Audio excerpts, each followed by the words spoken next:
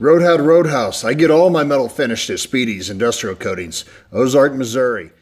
Big or small, Speedy's will take care of it all. Today on the Road Hard Roadhouse, we're still getting ready to go to the Hot Rod Power Tour 2020. Don't know if it's going to happen or not. Don't know if I can even lead a group of people from uh, Chicago, Illinois, down Route 66 all the way to the New Mexico border because they're closing states down now with this crazy pandemic crap. I will tell you this we really appreciate Jordan at Project Cheap. I got his shirt today.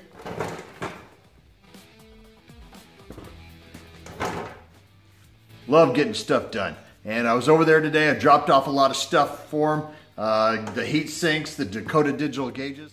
He showed me a lot about what he was doing and he showed me his Jeep.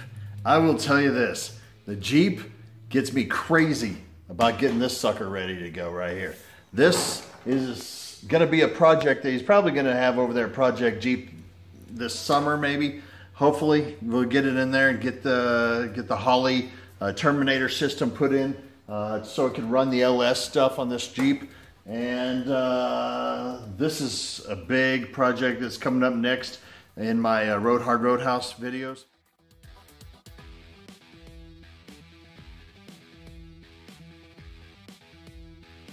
Brought over some parts. Those are the two heat sinks and the uh, 800 something dollar Dakota digital gauges and some uh, antifreeze.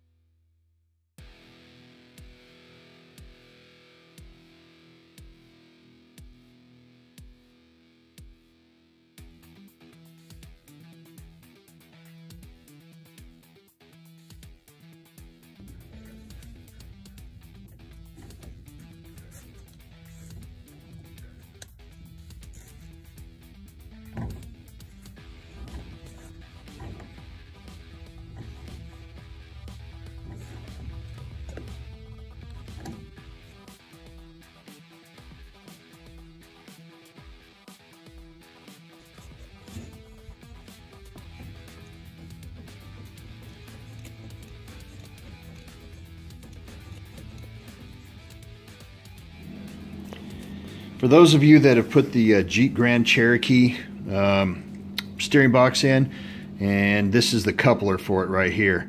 I'll put the part number down in the description, but uh, it's all ready to go down there. This Wilwood brake system looks really good.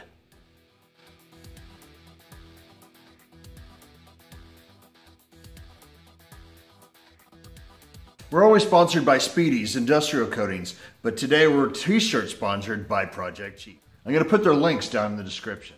Thank you for the t-shirt today from Project Cheap.